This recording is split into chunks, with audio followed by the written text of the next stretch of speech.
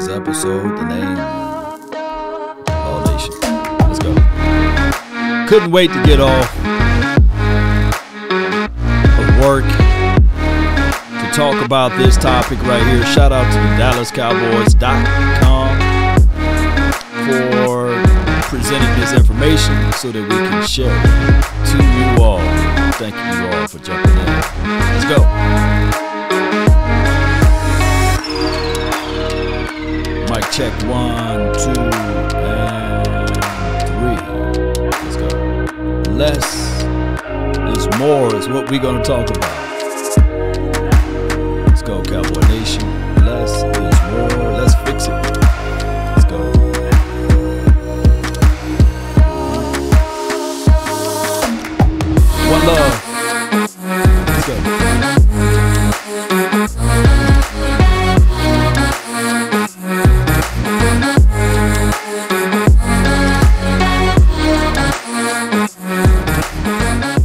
Appreciate everybody' patience. I thank you guys for jumping in. Uh, it is what it is at this time, Cowboy Nation. Uh, this situation in song and dance is all about what it is. Less is more. And of course, you know, when we hear that topic, the first thing that come into mind is this right Now, here. so the cocaine's happening. When does that crack come into play for you? That's the first thing coming to mind when you hear about the, that type of situation when the, the Jones family is rolling through this thing and they saying, okay, we we gonna figure this out, We're gonna figure this out, and we're gonna get this thing going the best way possible, and that is that is with the less is more philosophy. So, guys, Cowboy Nation, as we go through this whole rigmarole.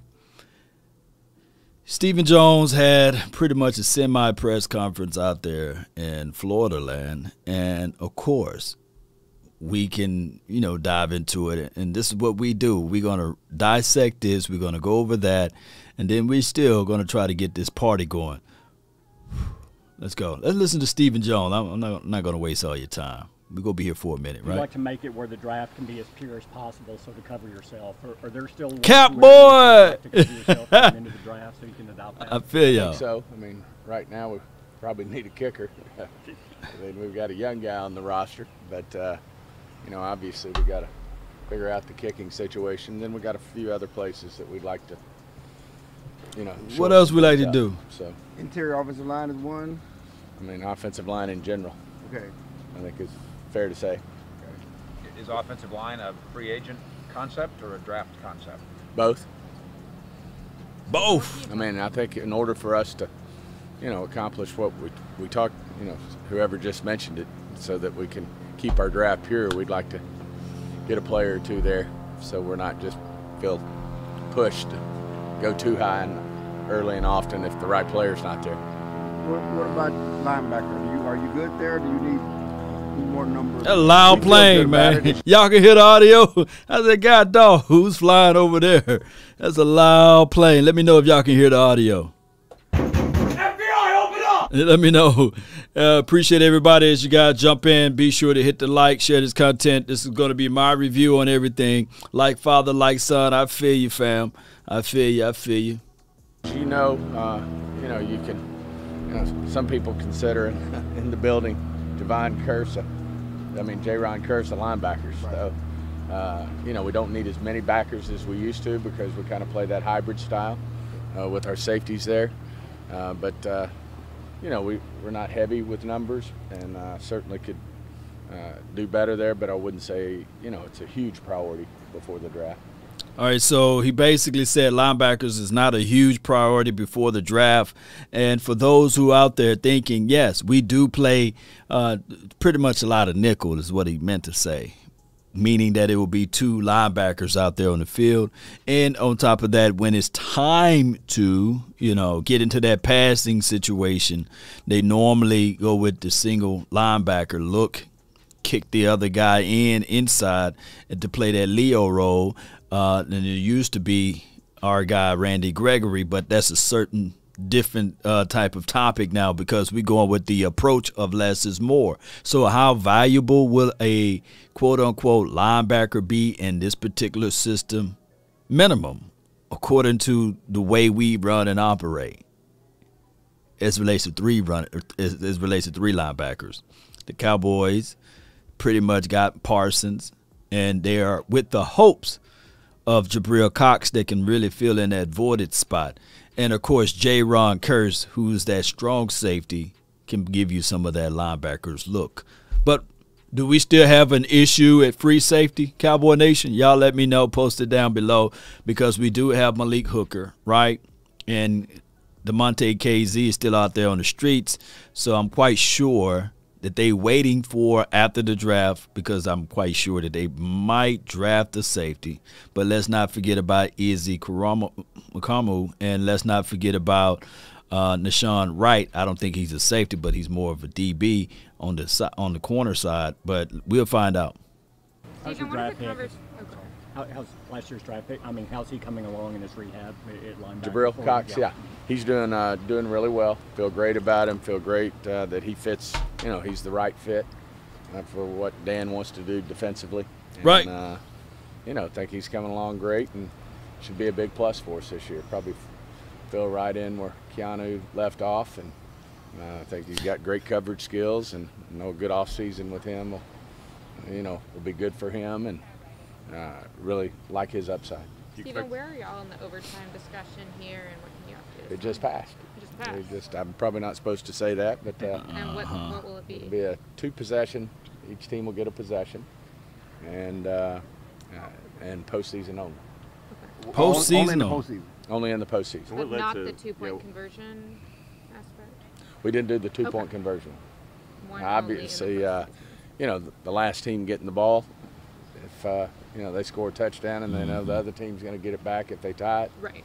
You assume you just lost the coin toss, they might go for two. So yeah.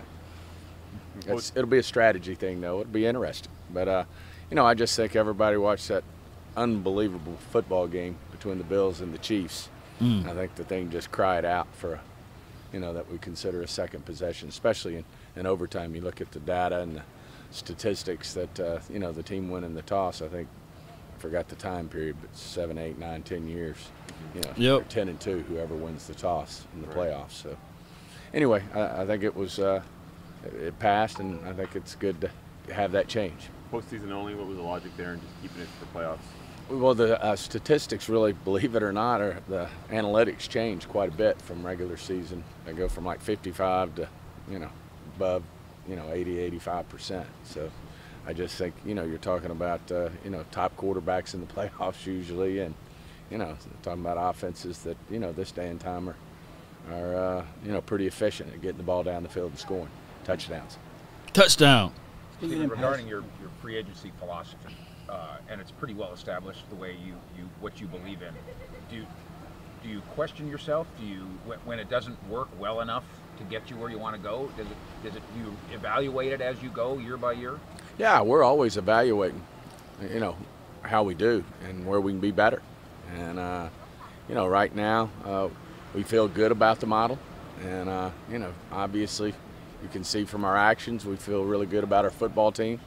And, uh, you know, the question becomes, well, if you feel really good about it, then why didn't you go further? And I think that's, right. the, you know, what we got to work through here. But, you know, it's Dan's first year with the defense. I think that defense is only going to get better uh, as you know as they play in Dan's uh, defense. So feel good about the defensive side of the ball, and obviously, you know, offensively, uh, you know, we just got to continue to be more efficient. We had a you know a top-ranked offense, but uh, you know we just got to be more efficient. Uh, you know, in the big games and the postseason. How you better? You how you better with lesser players? Theoretically, you know, you, you don't have Amari. You, last year, you told us this receiving corps was as good as any in the league. Right. With, with, with those of the big three, and then you add what Cedrick's done. You lose Cedrick and Amari. That How hurts. You... yeah, I mean, we have to get better. I mean, we're going to have to find ways to, to be better uh, without those two players. And we... Man, shout out. Who who who who gave that man that answer there? Man? I mean that question there I meant to say. Who gave that man that question there? Y'all post his name down below. Uh, he said, How do you get better with lesser players? And uh, somebody says, uh, who who gave him that? That question there.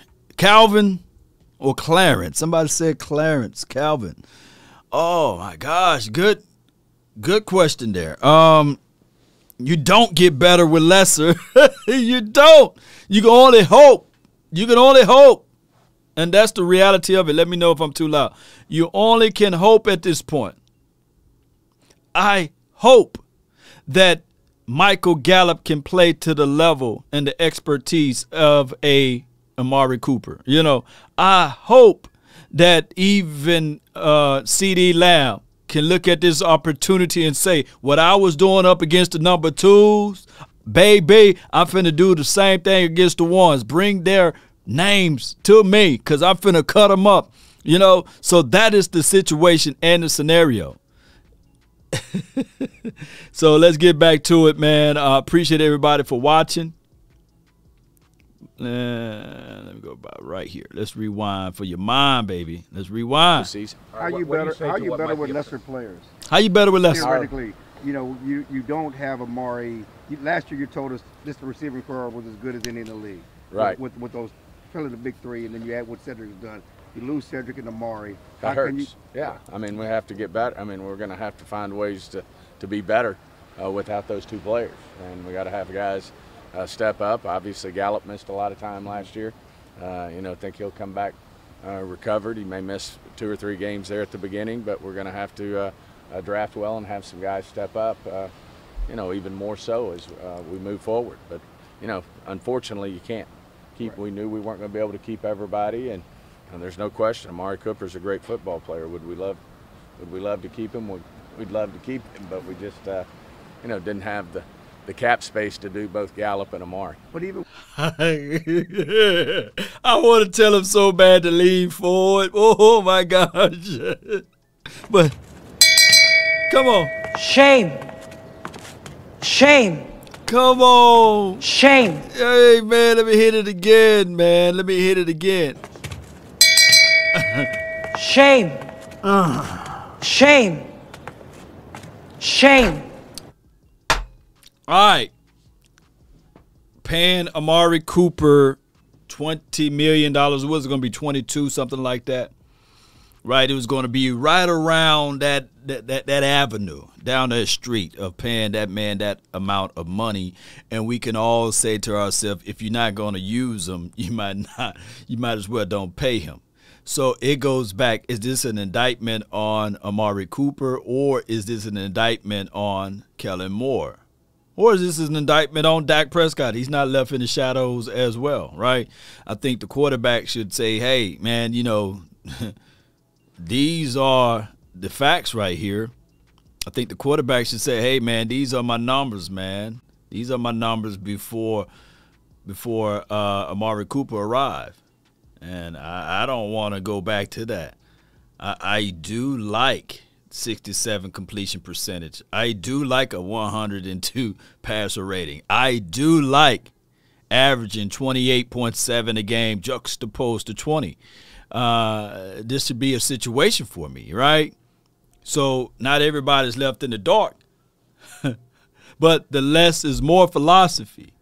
You know, it is a situation that the Cowboys going to have to figure out real quick. Will it be feasible?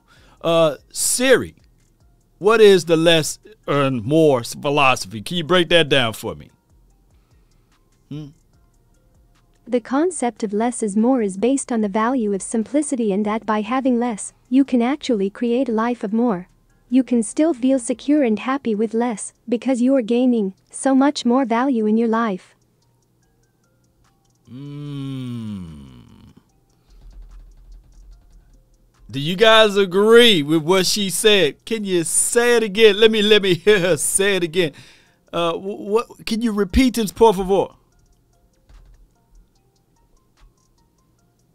The concept of less is more is based on the value of simplicity and that by having less, you can actually create a life of more. You can still feel secure and happy with less because you're gaining so much more value in your life. All right, well, let's keep it moving in, in defense with Gregory, you wanted to keep Gregory. He was part of. To a point, we wanted to keep Gregory. Okay. to a point, they wanted to keep Gregory. Oh, way to a point. Where am I?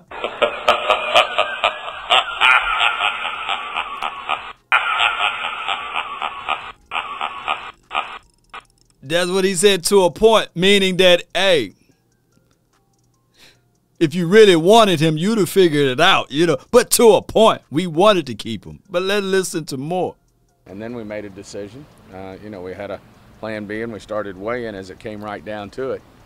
And uh, as Jerry told you yesterday, we finally just had to uh, say no. And, you know, we knew if we didn't do that, then we had some options. And turns out we got three really good football players uh, for one. But I wish Randy nothing but the best. He's done an amazing job. Hey, I was watching this uh, documentary of about when to know when people are lying, and this is how they was able to read people. Watch what he say. He gonna tug his ear. You know, watch what he say. You know, was documentary broke it down like how to know when people are lying. You know, or they look down, they look off. You know, but watch this again. Pay close attention. Thank you for tuning in to the Law Nation Film Session as we take a deeper look at Stephen Jones, as he'd say, he would love to keep Randy Gregory. Plus, he wish him nothing but the best. Let's listen. Cooper's a great football player. Would we love, would we love to keep him? Would, we'd love to keep him, but we just, uh, you know, didn't have the, the cap space to do both Gallup and Amari. But even with, in, in defense with Gregory, you wanted to keep Gregory. He was part of. To a point, we wanted to keep Gregory. Okay. And then we made a decision. Uh, you know, we had a plan B, and we started weighing as it came right down to it. And uh, as Jerry told you yesterday, we finally just had to uh, say no, and you know we knew. Watch what he say. didn't do that, then we had some options, and turns out we got three really good football players. Uh, for one, but I wish Randy nothing but the best. He's done an amazing job.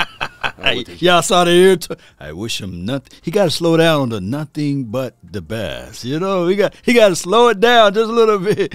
Come on, come on, come on, Stephen. You know, slow it down just a little bit. But we, we, listen to it one more time. Look, hey, Thank you for tuning in to the Law Nation Film Session as we take a deeper look at the shades, the glasses, the hair, the tug of the ear. Oh, that's a key indicator that he don't really mean that, but he's saying that. Yesterday, we finally just had to uh, say no, and you know we knew if we didn't do that, then we had some options, and turns out we got three really good football players uh, for one. But I wish Randy nothing but the best. He's done an amazing job uh, with his journey, and uh, if anyone deserves to uh, have a big contract. Uh, I'm happy for him, but you know, at the same time, you know, we're excited about a young Dorance Armstrong and uh, what Fowler. Dan's got great experience with Fowler uh, and loved him. In watch, watch, watch the other line. Watch the other line. Pay attention. Got three really good football players uh, for one, but I wish Randy nothing but the best. He's done an amazing job uh, with his journey, and uh, if anyone deserves to uh, have a big contract, uh, I'm happy for him, but you know, at the same time, you know, we're excited about a young Dorance Armstrong and uh, what Fowler. Dan's got great experience with Fowler and loved him in Atlanta and paid him and uh, in Atlanta there didn't get to you know stay long enough to really work with him, but he was fired up about having him and think he can do some dynamic things as well. And then of course you throw Leighton in there for the you know in that same cap space. Uh, you know we just think you know, we feel comfortable with where we ended up there. No concerns. All right, all right, all right, all right, all right. Let me turn off my uh, FBI mindset and my governmental thoughts on this thing since Joseph said, Law, you reach it, man, you know. well, we'll find out whether or not less is more will work, uh, Joseph, and we'll figure it out, you know, uh, how all of this stuff can work its way around. But let's listen to this one right here. I hope Dak is much better than the second half of the season. I believe he is, and that can help make up for the front office BS. This is from B Wee. Um, I'm on record saying, and I appreciate you for the donation there, B Wee. I'm on record saying that this team is capable of winning 10 plus games. And I think that this team will win at least 10 games just based off of still you got a quarterback. You still have, uh, uh, uh, of course, you don't have Amari Cooper, but you have CeeDee Lamb. You brought back Dalton Schultz. And look at it. We got six games within our division. Not saying that the Eagles or Washington Commodes, oh, I'm sorry, the Commanders and the Giants will be that much of a difference as well. I don't think that they move the needle that much. So I think that we can at least find a way to win 10 games or more. And That's just my philosophy and thoughts.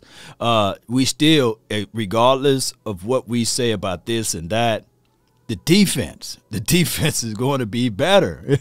I know we got rid of Randy Gregory, right? We got Dorance Armstrong, and we do have Dante Fowler, right? But I'm only saying this with this tongue, and I'm not saying it tongue in cheek or putting lipstick on a pig. You got Dan Quinn. And I believe that Dan Quinn, Parsons, D Law, and as well as Trevon Diggs, and hopefully, hopefully, we see the growth aspect of whoever we draft and Kelvin Joseph. I think this defense will still be better. Just we just have to wait and see. My only uh, problem is is why we just don't go out there to improve it even more. You see, there's levels to this. It's a situation where you can be good.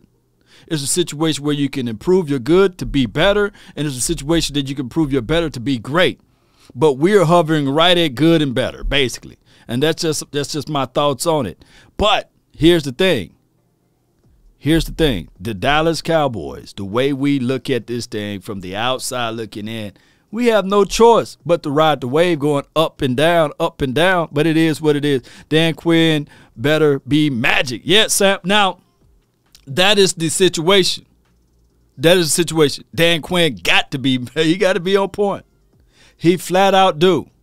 But whereas we looking at it from the outside looking in, it's like, dog, you look, like dog, man.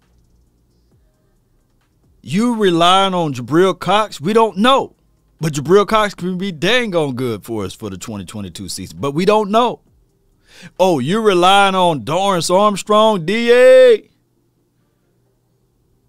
We don't know, but we do know from his past experience that the five sacks that he got, three were because of the other guys. Two was because of the fact, yeah, he got it naturally from that aspect of it. Go back and watch the tape. Now, Dante Fowler, who Dan Quinn liked coming out of high school when he was going straight to college, he recruited him, right? He was trying to get him.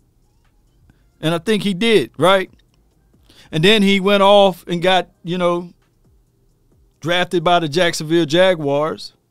And then on top of that, from the Jacksonville Jaguars, he went on to Atlanta Falcons because Dan Quinn, he really liked Dante Fowler. So that is the unknown. We don't know. It's a lot of ifs. Endurance ain't it. This is from uh, Esteban. Yeah, and I and I, I give you that. we we all know that if you're going to go into the 2022 season with Dorance Armstrong as your starting uh, edge rusher, you have to say, man, come on, man. You can't sell that to us. But that's why we was banging on the table for Chandler Jones. That's why we was banging on the table for Za'Darius Smith. That's why we were saying, hey, I mean, even at this point, hey, what about Jadeveon, right? But it is what it is. Let me see what Michael have to say. Appreciate you for the donation. If less is more, why did we need Charles Haley or prime time? but no, no, no, no, no, no, no, no, no, no, no, no. It's for this philosophy. well, I come here to tell y'all beautiful people that's watching. There there are only a spoonful of coaches. Um, hold on, hold on before I get to that point. Leon, great point. Leon, let me let me scroll down. Uh I need a urine sample from Law if you think this defense will be better presently. Uh, Leon Lewis, no, not as of March the 30th. We got to wait till the draft. Right? Put it like this What this defense would have been better without Micah Parsons. Last year, if we were having this same conversation without Parsons, unseeing Parsons playing for this particular team, and I made the same statement, you'd have been saying, Law, you know, you know, you must be. You must be out of your goddamn mind. Right? But we had to wait till after the draft. And after the draft, I was literally telling everybody, hey, this defense is going to be better. Even though we were historically bad, we got Dan Quinn. And on top of that, with the draft pieces that we got, we're going to have to rely on the offense first. We're going to have to rely on the offense first. And then on the latter end of the season, the defense will show up and show out. I, you guys can go back and rewind the tape. I had I said that to a degree where there was one guy, I think his name was Demetrius Alexander, cursed me out all off season and and, and gets, just kept getting kicked out of the chat or what have you by the mods and sent me paragraphs lent full saying, Law, you out of your god dog on mind because this defense will will will will, will start off on fire. They would not start off slow. They would do this, they'll do that. And I said, no, man, it's going to take time. Because whenever you have a young team and young players, it takes time for the defense to get together. Offense can always jump like this, but defense normally takes time to blend. Even when you think about the Super Bowl champions of the Seattle Seahawks, Legion of Boom, they didn't go undefeated. They didn't go undefeated. They lost some games but they started gelling and getting hot toward the latter part of the year. And then they would start whipping butts and taking no names, right? The same could be said about the Ravens. The same could be said about the uh, 2001 Buccaneers, right? They didn't go undefeated. About the pass rush, though, I mean, the numbers suggest that even though Gregory didn't have a lot of sacks, he still had more than Fowler has produced the last couple of years. Well, he's he's got more, but not by a lot. I mean, Armstrong's got right. If right. you look at his production last year versus Randy's, you know, very similar. So, uh, you know, we get Randy and Fowler, and you put those together, then maybe a little more production there. So now that is where I disagree. Shame. Shame. Shame. All right, so I go back to telling you guys this right here with what Doran, Strong, Doran Armstrong had last season. Last season. I want you guys to go back and look at the all 22 and look at his sacks. He got majority of those sacks against the Atlanta. He got one against the Atlanta Falcons game. You know, they could have rolled me out there. I'm near 40, and I I probably would have got to Matt Ryan, especially in that game because we beating the heck out of him. And then on top of that, with the Washington football team, we was beating the mess out of them, and Dorance Armstrong got him a sack there. The other sack that he got in that Arizona Cardinals game, that was due to Randy Gregory. That's three right there that I'm going off the top of my recall. But it is what it is. Now, far as the if part of it, Fowler. Fowler is the wild card. We don't know. We definitely don't know. So that's what we have to wait and see. And plus, how are you going to placate this if you go into this draft and you draft another edge rusher, right? Like how that split is going to work. Let's go. Let's get this thing going the best way possible, Cowboy Nation. Appreciate you, uh, Wade. Appreciate you. Let's say. Rely on offense with no offensive line. Yeah. Um,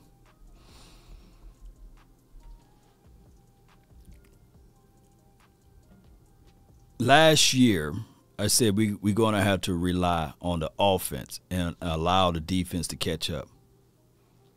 Last year, think about this: the offense pretty much was thought to be humming. And matter of fact,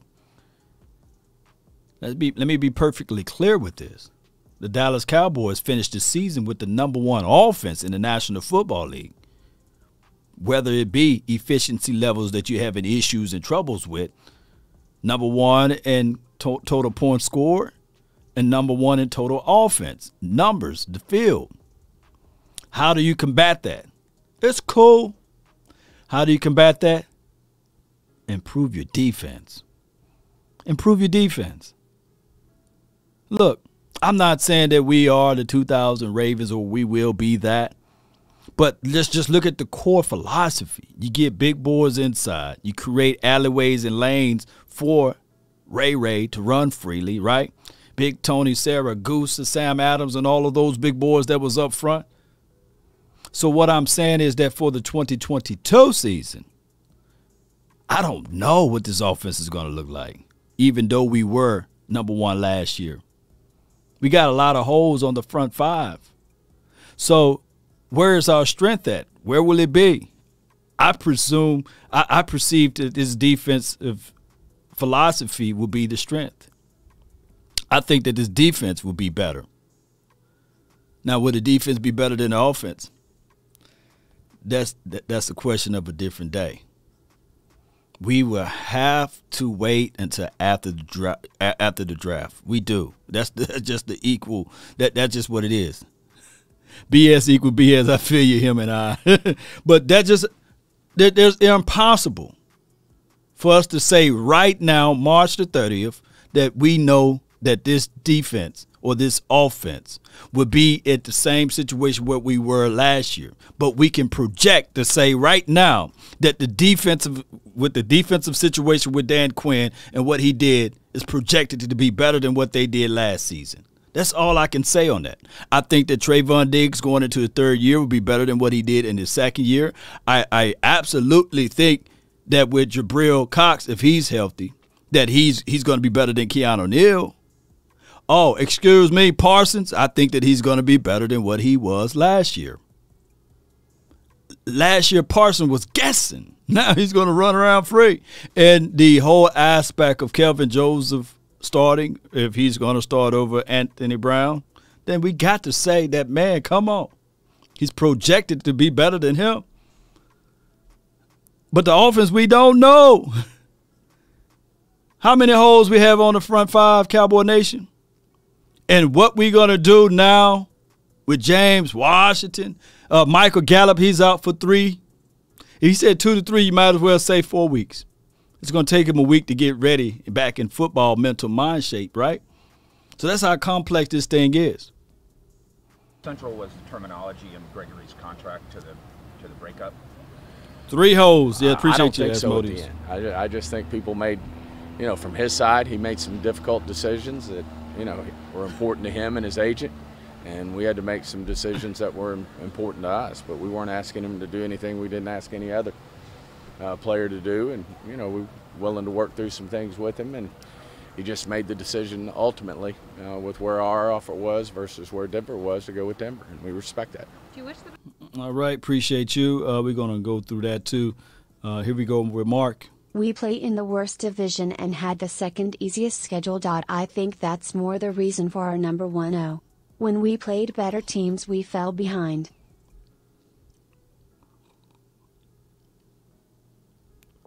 We put up 30 points on the uh, Raiders, right?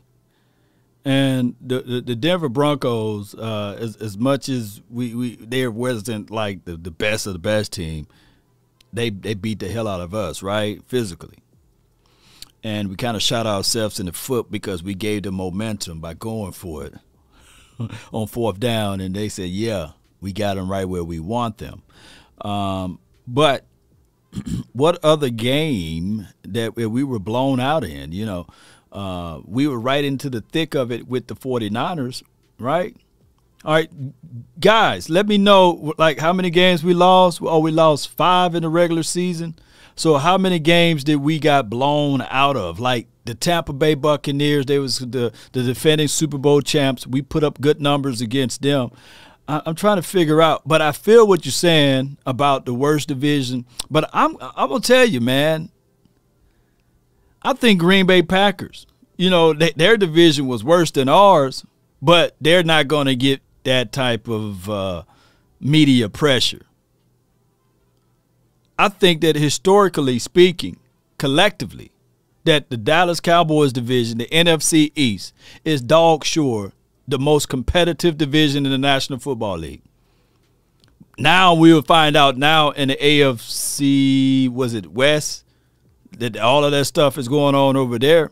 But nobody got more Super Bowls than our division and play each other rough and rugged. Matter of fact, by the Cowboys alone, got to fly from Dallas, Texas, all the way to the East Coast. Look, ain't nothing east in Texas. Ain't nothing east about being in Texas. And we play in the East Division. You know, that that's kind of bizarre in its own, right? all every every team in our division got a ring. Nobody else can say that. But we always look to say, hey, and all of the stuff that we talk about with our particular team, the Green Bay Packers only won one more game than us. Only won one. One more than us. And they was number one seed.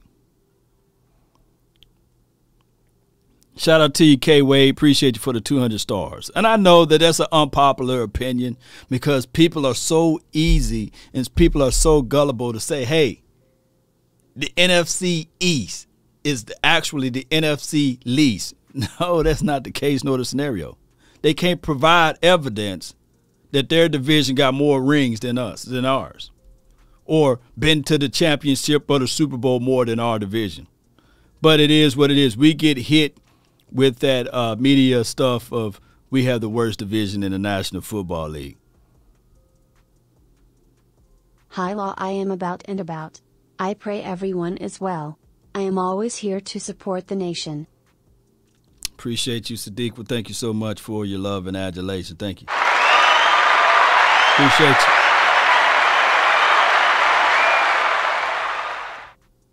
Cowboys champ, appreciate you. This team will be the laughing stock of the NFL until the Joneses stop wearing their egos on the sleeves and hire a real GM. Whenever uh, I appreciate you, Cowboys champs. Uh, I appreciate you, but whenever I say that, you know, it goes into one ear and out the other. You know, um, I, I had somebody to bring up. Well, name me another GM they have three Super Bowls in twenty uh, well within the last outside of the Patriots. Name me another GM that had three Super Bowls or blah blah blah blah. But we can clearly see that the three Super Bowls came from Jimmy Johnson, right? Even if you want to give credit to Barry Switzer, those were still Jimmy Johnson philosophy and thinking of players. They thought like Jimmy Johnson. And we've been chasing the ghost who's still alive, Jimmy Johnson. We've been chasing that. We've been chasing that whole mindset. But the Jones family, yes, they do have big egos. I, I call it edging God out. Because that man with the glasses on his head, he think and know that he can say to himself, hey, we got it the way we got it because we are risk takers. And I'm the calculated one, and I'm smarter than you. I'm a billionaire with the B. So I'm not going to listen to anybody else beneath me and that's just how it goes. Uh, unfortunately, uh, shout out to you, Sadiq, again. You didn't gave two. Hi, law. I am about and about. I pray everyone is well. I am always here to support the nation. Appreciate you, Sadiq. Uh, appreciate you. Listen to more of this guy. Jimmy was the blueprint just from Jay Lombardi. You right? Departure was handled differently from a public standpoint, with what seemed like a flip flop. Yet The team was tweeting it out, and how much more? Uh, uh, hold on, hold on. Wait a minute, hold on, hold on. Uh, wait a minute. He said, you must be out your mind if you think this team can win ten wins or better. All right. What do you suggest? Who who do you think? Who do you think is going to get the ten get to the ten wins in this division. Hmm? Because even when you say I'm out of my mind, shouldn't it be said similar to those who say that the Cowboys are going to finish below 500 every year?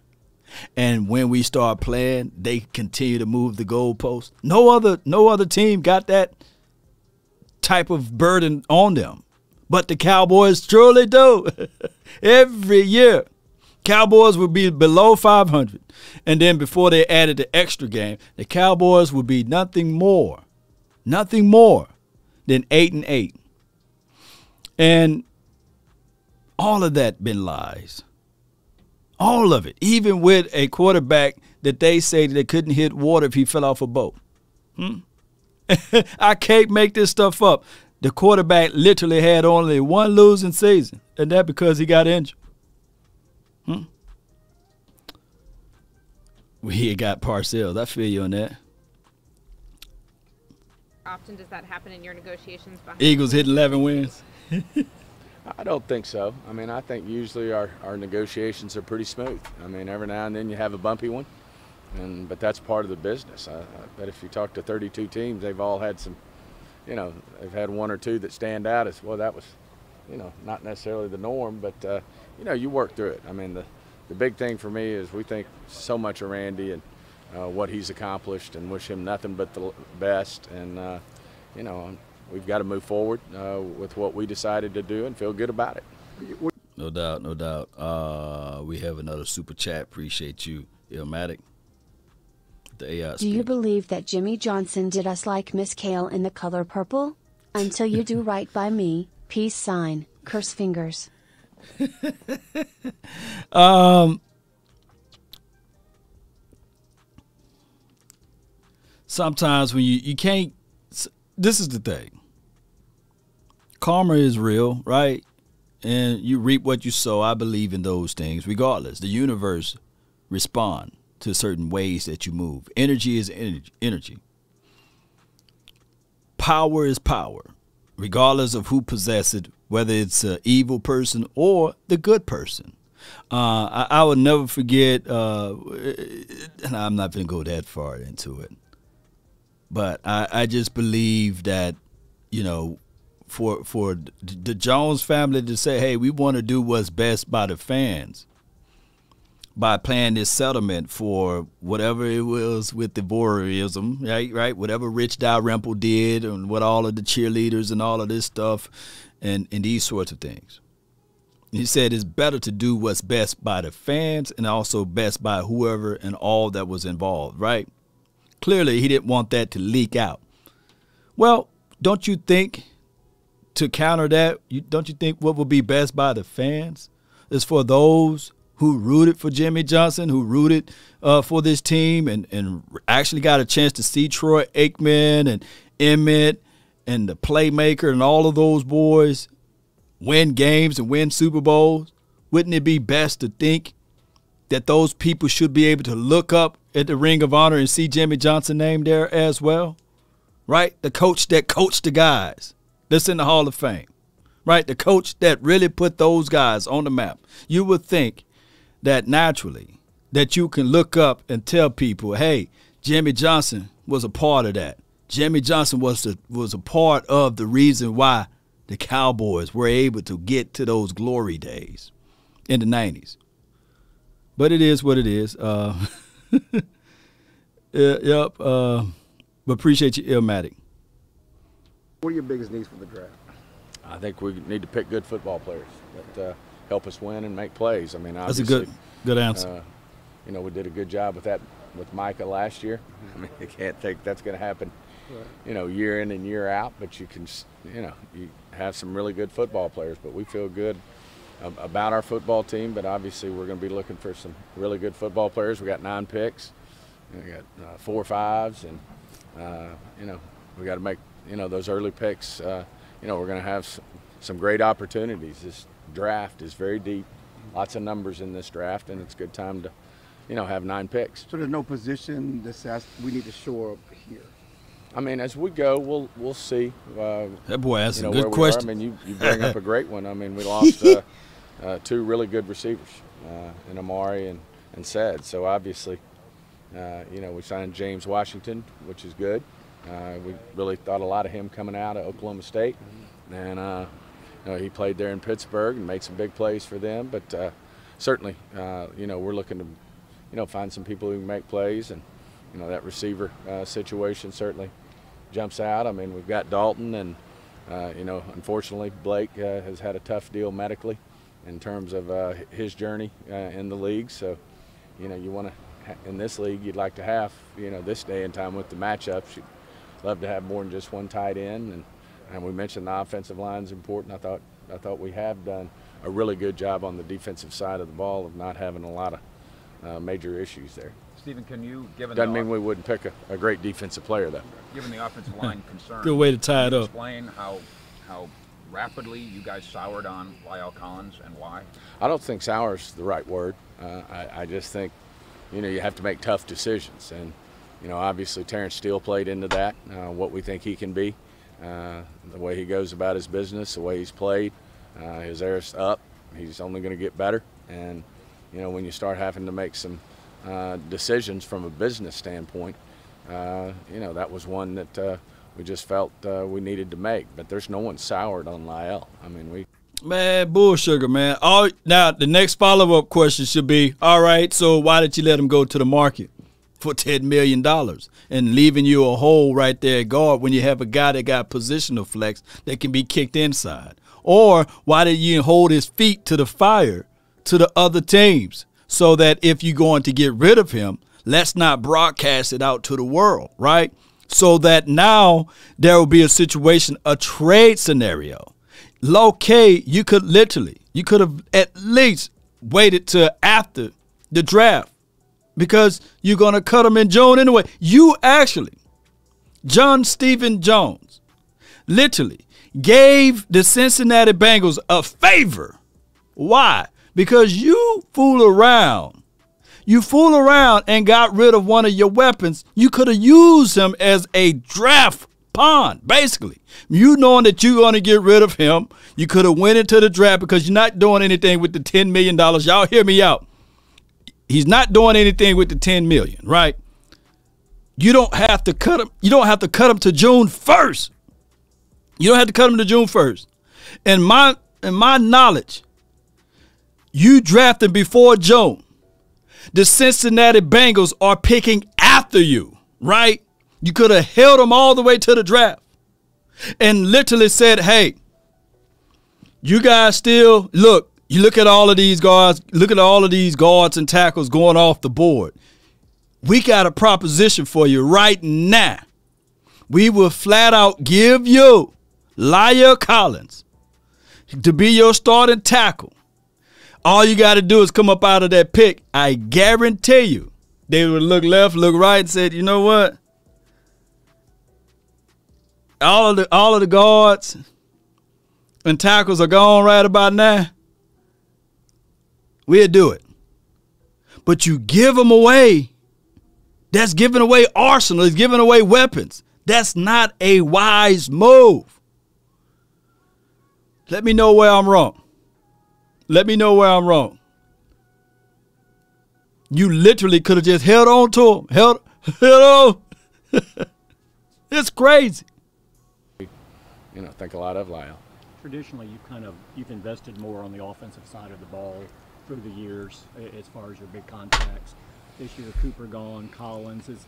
Is there a little shift, a recognition of this is a better young defense than you've had in a while, and you're going to have to pay a couple of these guys down the road? And I guess it's a little more balanced in your in your distribution right. this team than what you've had lately. You know, I think that I always look at it, David, as an opportunity. Is uh, you know, you get an opportunity to draft players uh, that happen to be the best player on your board. I mean, all right. So look, look, look, look, look, look, look, guys, man. You know that that, that little whole segment made me mad, but here's what I got right here. Here we got right here. We're gonna ask Siri, what happened to the owner? What did the owner say to Carson Wentz after he was gone? Siri, can you answer that for me?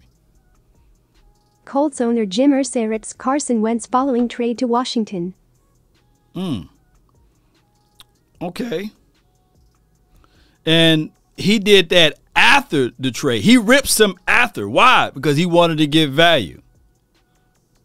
Huh? He wanted to get value, right? It's safe to say that Jim Irsay wasn't a fan of the Carson Wentz era in Indy.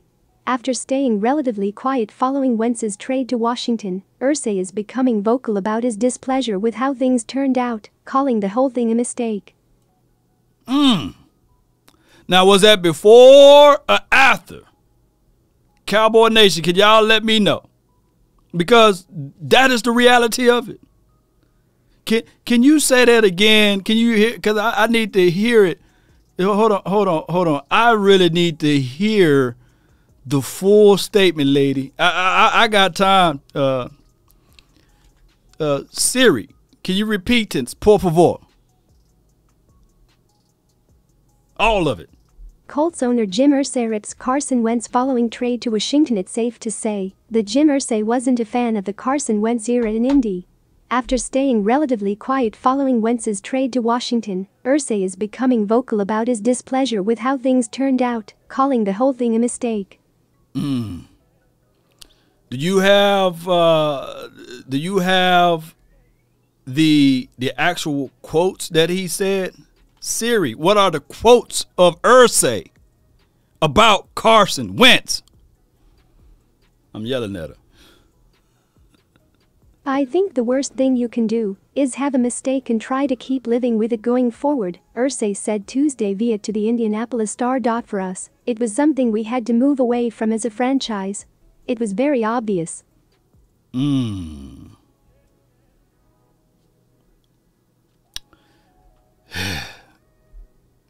Irsay, he was doing his magic, right?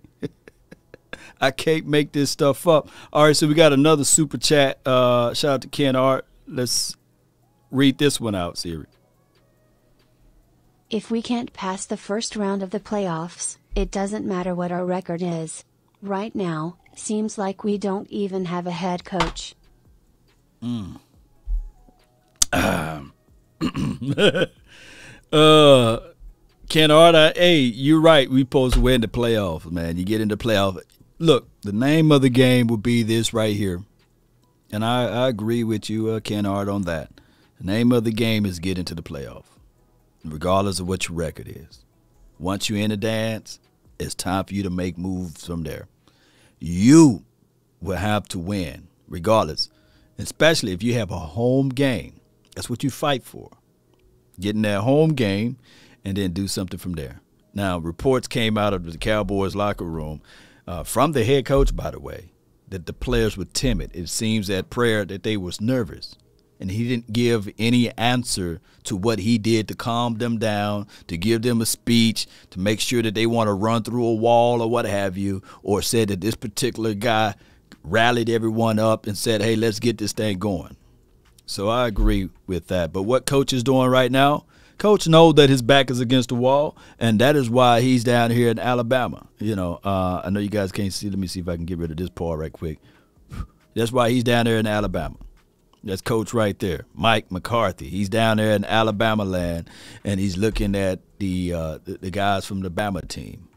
If you roll tide right now, let me know in the comment box. Roll tide, right? but I feel y'all. Let's listen to more what they have to say. When we drafted Zach Martin, we had three great defensive players. We thought we were going to get one of those guys ahead of Zach Martin. Well, we ended up getting Zach Martin, and he turns out to be a great player. So rather than paying one of those defensive guys four years from that standpoint, it ended up being Zach Martin. Same thing with Travis Frederick, same thing with Tyron Smith. Uh, you know, as you draft guys like that, I mean, obviously we're looking at Diggs, we're looking at Micah, looking at players like that. Hook them, baby. I see you. you hope that they're two uh, contract plus guys. And so, you know, you at the end of the day, it's it's kind of what comes your way in, in terms of uh, where your resources go, and then where you gotta uh, kind of make things work. So. So it's more dependent on the individual talent that you have on the side of the at ball the point, versus at that point. Is it pretty encouraging how CeeDee has developed thus far? That despite all the production that he has, there's still ways that he can really fine tune his game and get mm-hmm. that much better. I do. I think he'll only get better. Uh, True that. I, mean, I, I, just think he's he's a great competitor. Uh, right. He does. He really wants to be the best. Uh, I think, you know, this creates an opportunity for him to really step up. Not having Amari now. I mean, Amari was a veteran. He was a good guy in the room for those guys. He was the leader. I think this is going to allow allow these guys to step up. And uh, rather than doing it with three, you might do it with two plus some other guys. But uh, I think this is a great opportunity for Ced to step up. You see this as a? As I mean, for yeah, for, yeah. for CeeDee. CeeDee, you, know, you said Ced. You, you know, obviously last year's draft was a defensive draft. Uh, could this be an offensive draft? Uh, obviously, if a great pass rusher, somebody falls. But BPA, you, man. Yeah, that's the hard part. I mean, you. I just mentioned to yeah. you probably where we got some, you know, where you could use more input after you said right, we lose Amari, you lose, you lose Ced, you lose Connor, yeah. uh, Connor Williams. I mean, you lose. Uh, you know, we thought Blake Jarwin was going to be around here for five, you know, four or five years, and unfortunately, uh, you know, the injury uh, situation got to him. So, you know, I've already mentioned that. You know, those are some of the areas because we do have quite a bit of depth in the defensive front with what we did in free agency. We got Leighton back. Uh, you know, there at the linebacker spot. We got, you know, the safeties we wanted back, and we got a good situation there at corner. So, uh, you know, you never say, hey, we're only focused right. on offense. But if, you know, if the defensive guy's sitting there and we've got him rated a lot higher than the other guys, and you you go with the, the highest rated. We've had our success. It's not being pigeonholed to taking one particular thing. Do you have? you know what? You know what the craziest thing about all of this?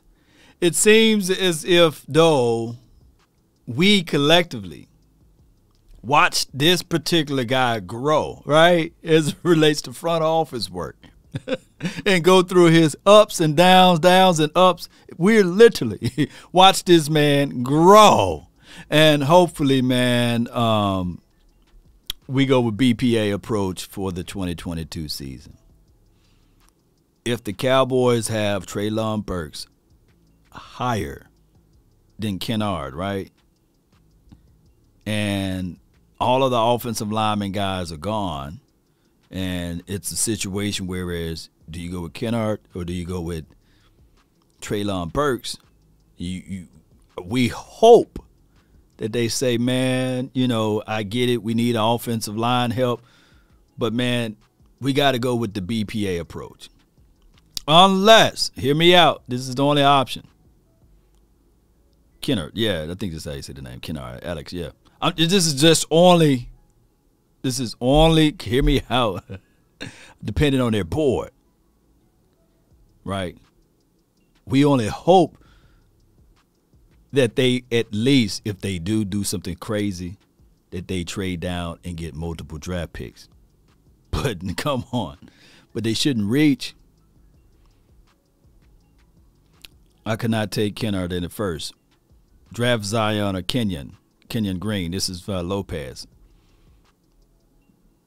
basically yeah but i'm saying that if they draft needs let's let's go back because there's no possibility in my mind is when they looked at that Taco Charlton, that they looked at the tape that we looked at, and they said, you know what?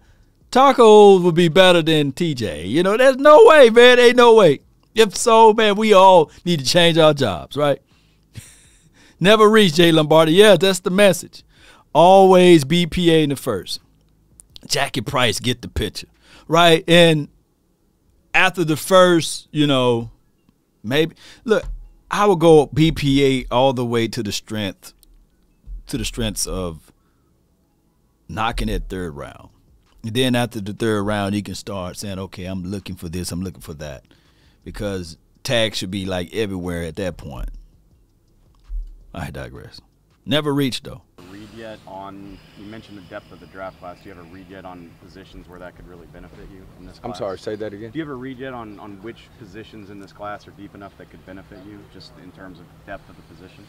Well, there's always receivers. I mean, the college game. I mean, it's a, yeah.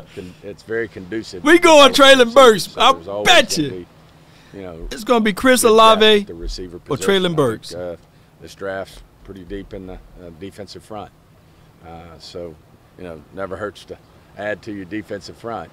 And then, uh, you know, tight ends, it's a, a, tougher position to find because of the of the college game, but certainly they're out there. And then the offensive front, you know, there's always uh, some offensive linemen, but the way they play the college game, you got, uh, you know, you got to project a little bit and, and work through uh, where that's going to be. So, but big thing is there's a big number of them between the the, the super the super seniors, the COVID seniors, if you will, that have played six years. I mean, there's a bigger number of people in the draft than there's than there's ever been. So it's a, I think a great opportunity to find players out there. Our guys, you know, Will and his staff and the coaches are certainly do, doing their work to get prepared for the draft and.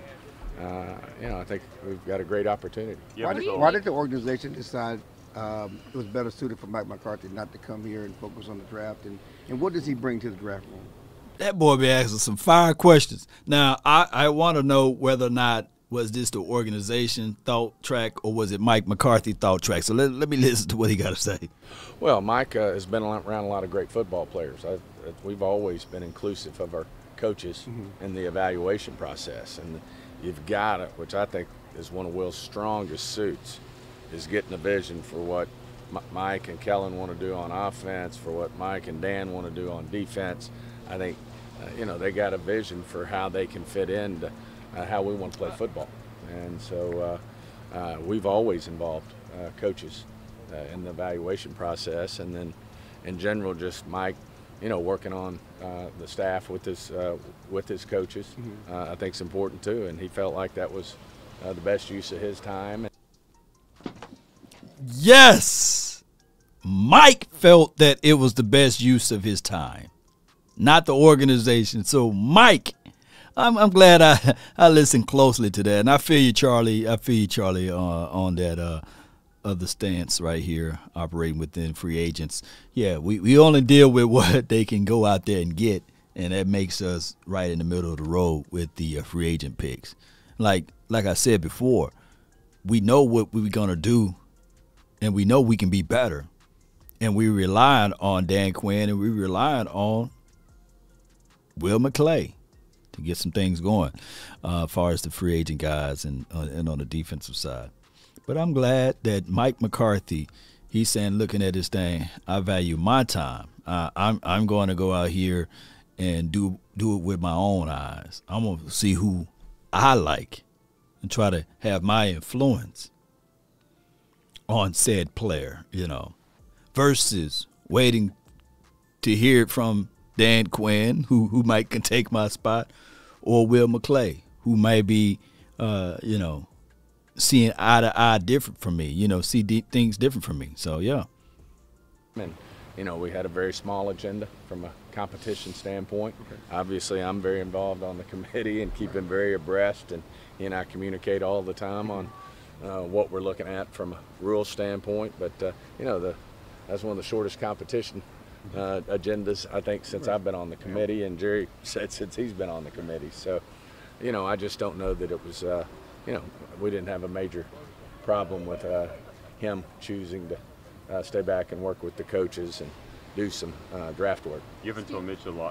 You have until mid July to sign Dalton to a multi-year deal. Otherwise, he'll play under the franchise tag do you anticipate a strong push before then to get a long-term deal done, or are you yeah with the idea of we just uh, we got to see kind of where we end up with everything, uh, you know, from an overall standpoint. But obviously, you know, the fact we franchise Dalton tells you all you need to know about what we think about him. So we just kind of see how that progresses.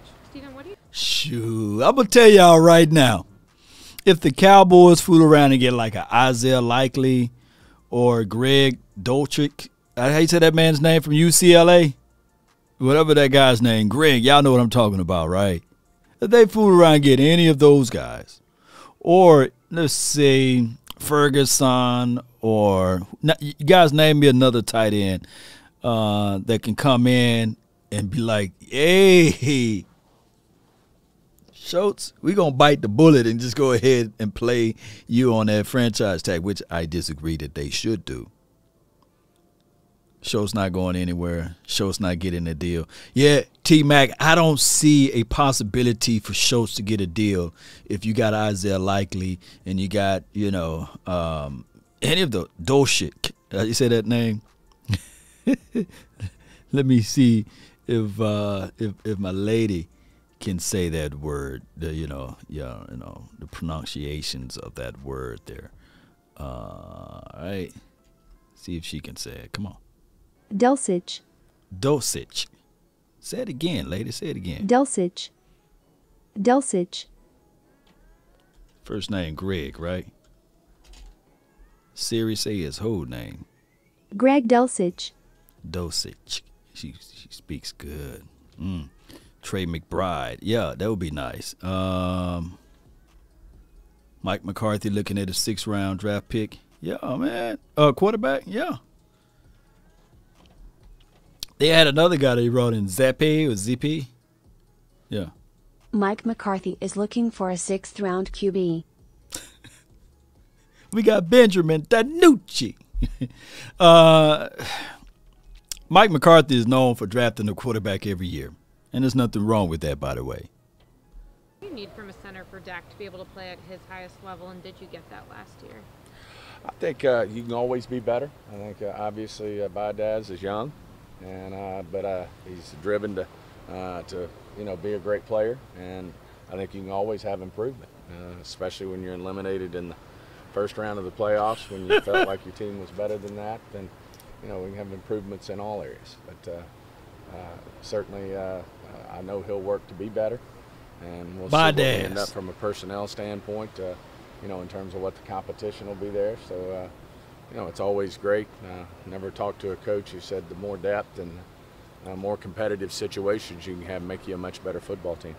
I think mm. Mike was saying this morning that that uh, normally there's maybe around 150, 160 with draft grades, and you're looking at projecting. David Bell is pretty good. Yep. Are those are those kind of the, the round numbers you're kind of looking at? That's here? what uh, I've gone over with Will. Yes, those would be good round numbers, and of course that's going to make us be even more, hopefully, really drill down even deeper to try to, you know, keep those numbers where you historically would have them, but we also got to acknowledge if there's, you know, football players that deserve to be on the board, then you got to acknowledge that as well. So it'll be interesting how we sort through that. Now, my thoughts on this Cowboy Nation. All nine of those draft picks, I'm gonna say it again, and, and you guys can hate me for it, but I just feel like all nine of them they won't play when I said the same thing last year, I had all type of people want to shank me with the butter knife and everything, and uh, try to you know uh, say no, law, you're wrong, you're lying, man, you know, and all I can tell them is that all nine of these guys in this draft pick would not start. Hell, our second round draft pick didn't start. So what would be wise for the Cowboys to package some of these picks together, move up in the draft and get somebody that's quality over quantity. Who agree? He's talked about less is more anyway, right? Wouldn't quality be better over quantity? Less is more in this draft. Would that be a situation and scenario? Uh huh. Get your damn act together. Don't like your attitude. Come on, Jerry. Come on. general question about what the road ahead looks like now in terms of once you get back to the star what's the process like of just meetings and everything leading up to the draft? Yeah, I think the biggest thing is obviously we're, you know, back to the old famous line, player acquisitions 365. 365. We're going to be uh, looking at free agency, and uh, certainly, you know, as free agency is winding down, there's could be some situations out there that are very, uh, you know, appealing to us. So we'll look at that. But obviously, the main focus will be really rolling up our sleeves. You'll see that we're going to start having players uh, visits, Dallas days, all the things that we do to pre- prepare for the draft. So that'll be, you know, that'll be our main focus. Was there any one or two more? Was there ever he ready to go? Wagner and, and, how did that those conversations go? Yeah, another hard question. Dan's had a history with Bobby. Bobby uh, knows him well, but uh, you know it was just uh, one of those situations where uh, you know you, you, look into it. Uh, he's a great, great football player, Hall of Fame type football player, and uh, you know, just uh, as it turned out, we, uh, you know, it didn't work out with us. Stephen, question that's less relevant to y'all right now, but Mark off. So he just beat around it. Didn't even look. He's he's brilliant. He's brilliant in beating around the question and just moving on from it real quickly. Um, of course, we all know Bobby Wagner is a great player, good player, good good situation for the Cowboys. But eleven million dollars, we giving that to Schultz, right? Oh my gosh, man. Let's listen to more. Cool. A lot of teams need to match their quarterbacks to their systems right now as there all these trades are going on. When you've been looking for personnel through the years, what's been the key to matching the quarterback in the system and ensuring that's a smooth transition? Well, I think you match your quarterback to your system once you I mean that that's done when you have your guy and you start to see that's who it is, then if you got a great head coach and a great coordinator, then they start to say, hey, what are, you know, it was Tony, now it's Dak. Yeah. What, what does Dak do well? And then if you've got a great coordinator and a head coach or offensive minded, then they start to say, hey, with our personnel, with our offensive line, with Zeke, with the receivers we have, and then ultimately, the most important one is Dak. What, how do we design an offensive system that best suits him? All right, so that was the end of that interview there. Um, what best suits Dak Prescott? The answer I already gave many of episodes ago. Dak is 30 and 0 when they run the ball more than they pass the ball, right? When they run the rock, and I believe when the running back hits 25 to 26 carries, even if it's a combination. The Cowboys are undefeated. That's the answer to the test. It's not hard. It's not hard at all. Uh, shout out to Charlie. He says, uh, yeah, the last five uh, Super Bowl teams that won the Super Bowl, last five teams that won the Super Bowl, all made big acquisitions during the free agency. Uh, go back even further, the last ten teams. Uh, go back to the go back to that aspect of it. Sign Tretter, this trip aces. Yeah, go sign Tretter. I, am very high on Tretter, JC Tretter. I know it's a long tooth, but man, let that tooth use that tooth to solidify to solidify this offensive line appreciate everybody for uh, tuning in. Um, Law, you know Jay Lou changed his number to two. I didn't know that. Jourdan Lewis changed his number to two. Appreciate you, man. You know, I, I definitely didn't know that. And since you brought it up,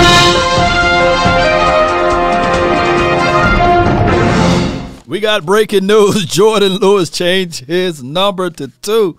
According to Javion Jones with the breaking news of the top of the hour, Jourdan Lewis will now be number two. I can't wait to see him out there on the field. We'll have more news at four. Who else changed their number? Shout out to you, Javion. Uh, that's that's good information there, by the way. You know, PTSD. Frederick is uh, who is 31. I don't know. Uh, trip aces. I don't know. Uh, yeah, appreciate you, uh, Crystal. Thank you so much for jumping in and being part of this episode as well, Cowboy Nation. It took me long enough to get through this one. Uh, appreciate you guys. Um, hopefully next week we will start back up the final word. Uh, my guy Boss Cowboy, he's working on that that draft uh, book, and it's going to be nice, man. It's going to be a lot of eyeballs to film that that they done did him and the OC. They had remarkable uh, film study guide last year and the year before that. So uh, they got this thing going. Shout out to Amazon and everybody else that, that pushes that product out. And I can't wait to get my hands on the draft guide. Uh, appreciate everybody for tuning in. Took Zerlon number. Yeah, Zerlan number. Yeah, Brian Bradford, he did. Uh, idiot gonna change his number every year. Yeah, and he got to pay for it, though. He got to pay for it. That's crazy is the thing of it all, right? But it is what it is. He got big money. He do, he do. Uh, Cowboy Nation, really appreciate y'all. One love, baby. Be sure to hit that like button, share this content. We will have a draft party on the 27th, I believe, whatever the draft day is next month. We'll have the draft party. Stay tuned, Cowboy Nation. Also, we'll be doing the Michael Irvin jersey giveaway for those who donated and for those who are part of the membership. SWAD, appreciate y'all on both platforms, whether it be Patreon, Facebook, YouTube. And on top of that, if you join the Halftime app, the link is in the description box. Your name is automatically entered in, so you don't have to give no remunerations. Uh, nobody's buying Jourdan Lewis jersey law. Yeah, he had to buy. He didn't have to buy out that many jerseys. Yeah, I, I didn't think about that, Chris. You're right. Verde, appreciate you. Shout out time. Don't forget to put down where you guys are from. I can't wait. I can't wait to read that. Cowboy Nation. This goes back to how we open up this thing. If the Jones family really think less is more, let's play this right quick. Now, so the cocaine's happening. When does that crack come into play for you? I can't make this stuff up, baby. But less is more. Less is more. Come on, baby. Yeah, come on. Ain't no party like a cowboy party. Yeah. Shout out to Memphis, Tennessee. Yeah. Jay Lombardi, Lawrence, appreciate you. Shout out to you, Charlie. Thank you. El Paso in the house. Shout out to y'all. Appreciate you. Much love, one love to everybody. Thank those who donated. Appreciate those who shared this content. I really do appreciate each and every last one of you. Iceberg Q. Appreciate you, man. My brother from another mother, no other. Maryland in the house. Birdie, I didn't know you was from Maryland. Shout out to all of the Maryland Cowboys. That's what they say, man. They say those are real die-hard Cowboy fans in Maryland. Huh? Huh? Come on. What my Mississippi love at, baby? Shout out to your money out of the you know what. Appreciate you. I can't say the word because they, they, they flag it, but I, I, know who you are. Money out of the you know what. Hardy, Arkansas. Appreciate you. Austin, Texas in the house. Arizona. The Zone Boys. Shout out to you, Daryl. Maybe we'll do a call-in show. I can't wait to hear your passion, your desire, love and adulation you have for the nation. Come on. Let's go. North Carolina in the house. Shout out to y'all, man. M-O-D-A. I can do that. D-A in the house. What's good? Shout out to you, Canada. Oh, Canada. Frederick, Maryland. Appreciate you. 314. That's how we get down, baby. Shout out to y'all. Turn me up. M-O-D-A. Come on. Let's slow it down. 310, keeping it mean. I see you. Let's go.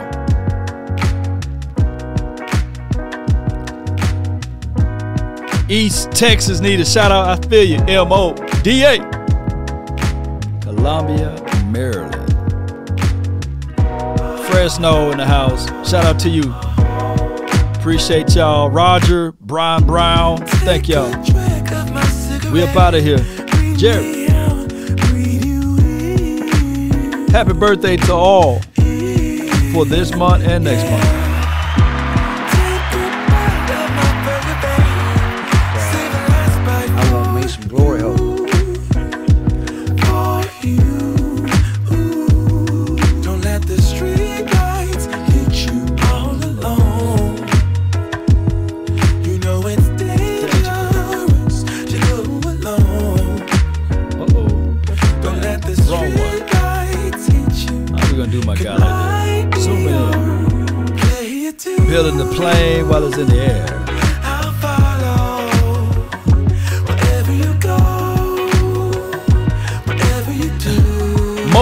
I got you, man. You know my hooked on phonic speech.